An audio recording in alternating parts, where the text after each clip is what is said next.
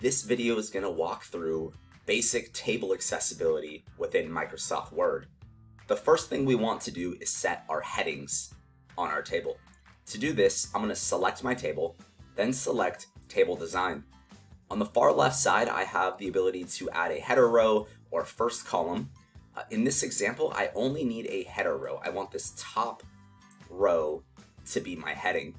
Now it's kind of hard to determine that there has been a heading applied, so I'm actually going to apply a style which will just visually change the heading uh, just a little bit. Uh, there's a few additional things we can do uh, to make this table accessible, but they're not always required.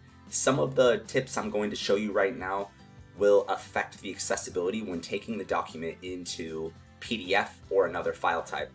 So I'm going to right click my table and select Table Properties. On the Row tab, I'm going to select Allow Row to break across pages.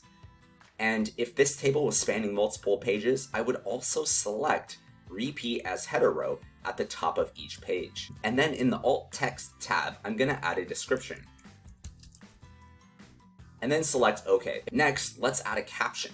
I'm going to select the table, right click, and select Insert Caption. We're going to give it a name and select OK. And we're going to move it to above the table and select OK.